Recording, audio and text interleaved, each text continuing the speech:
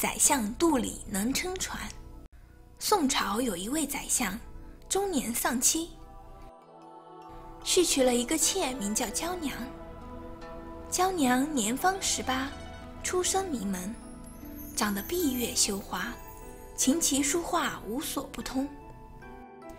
婚后，宰相整天忙于朝中之事，经常不回家。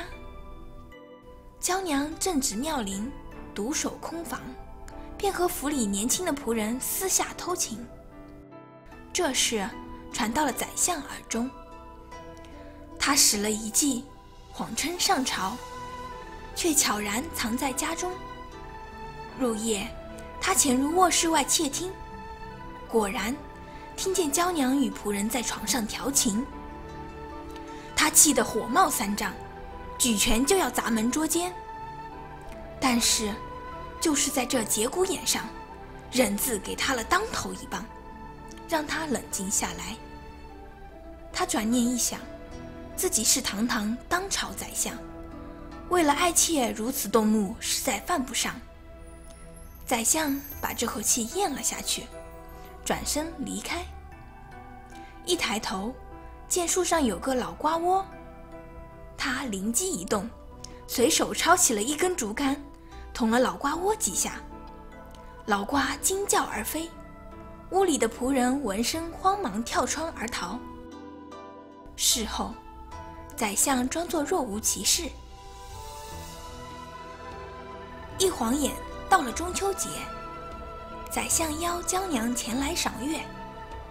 酒过三巡，他即席吟诗一首：“日出东来还转东，乌鸦不叫竹竿筒。鲜花搂着棉蚕睡，撇下干将门外听。”娇娘是个才女，不用细讲，已品出诗中的寓意。她顿感无地自容，跪在宰相面前，也吟了一首诗：“日出东来转正南，你说这话够一年。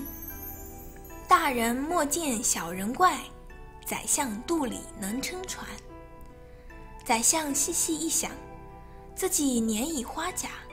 娇娘正值弱冠年华，偷情之事不能全怪她，还是来个两全其美吧。过了中秋节，他赠与娇娘白银千两，让他和那个仆人一起生活，远离他乡。这事很快传了出去，人们对宰相的人字当头、宽宏大量深感敬佩。